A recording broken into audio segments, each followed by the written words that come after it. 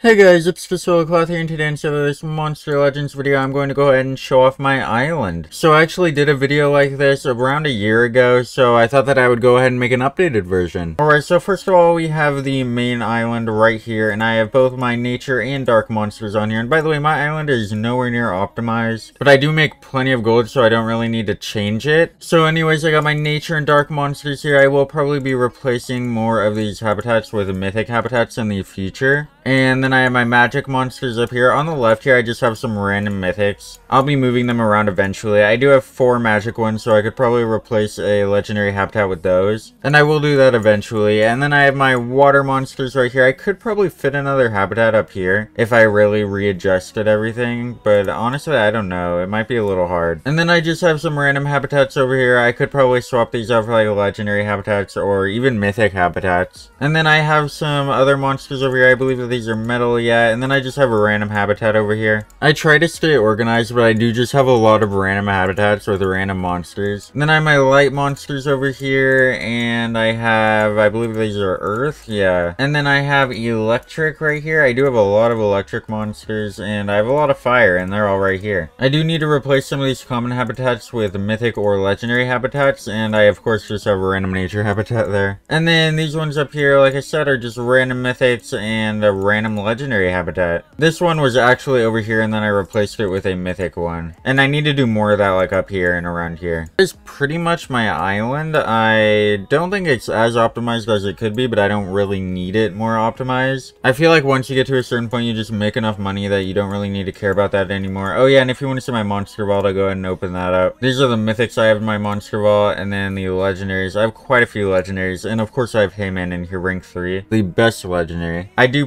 probably need to move him out because he'll be making more money because he's rank 3. But the mythics honestly don't really matter. I'll probably move them out eventually though, and the rest of the legendaries aren't really a big deal. So yeah, that is my whole island. That is all I've been up to recently, and if you want to go and compare it to my last video, go and look that up and go and watch that. And yeah, don't forget to like, share, and subscribe, and I'll see you guys in the next one. Goodbye.